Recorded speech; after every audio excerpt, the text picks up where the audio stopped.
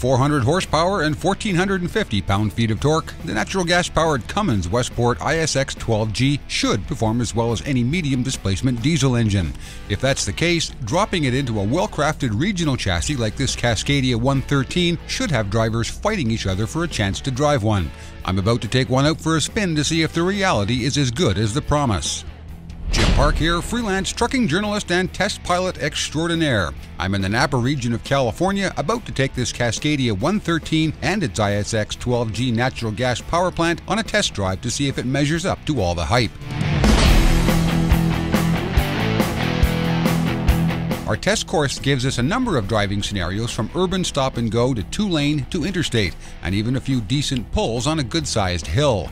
We begin the test drive cycle in Yountville, California. We travel about five miles south on Highway 29 into the town of Napa.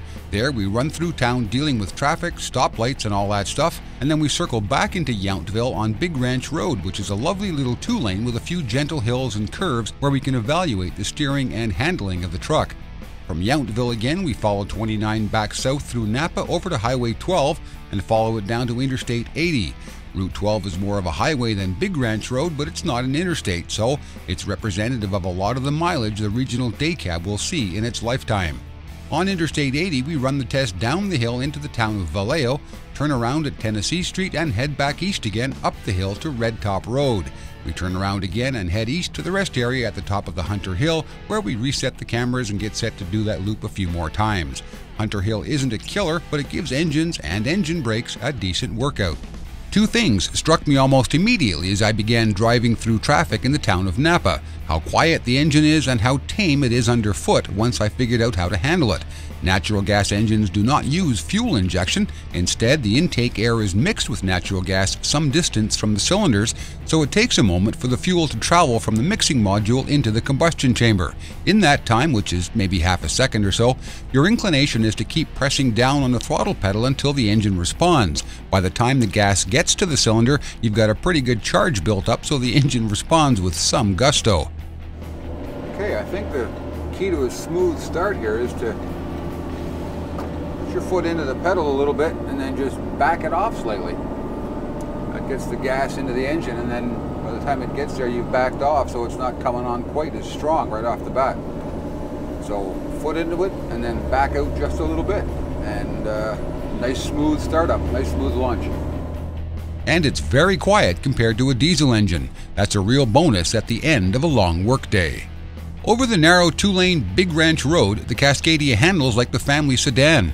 Lane position is intuitive and the steering is firm but not hard. It holds the corners really well, which makes negotiating a winding road like this one a lot more fun than hard work. Visibility in the cab is second to none, which is really important in a truck that spends a fair bit of time on city streets.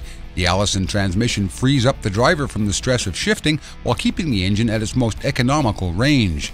Because the cab is so quiet, drivers will be aware of a couple of strange sounds that natural gas engines make. They are normal, but not found on diesels. The first is a chuffing sound. Freightliner says it's the sound of the air pressure equalizing in the air intake system after the turbo has delivered a high pressure charge of air into the engine. It's usually heard when you take your foot off the throttle pedal after a bit of a pull.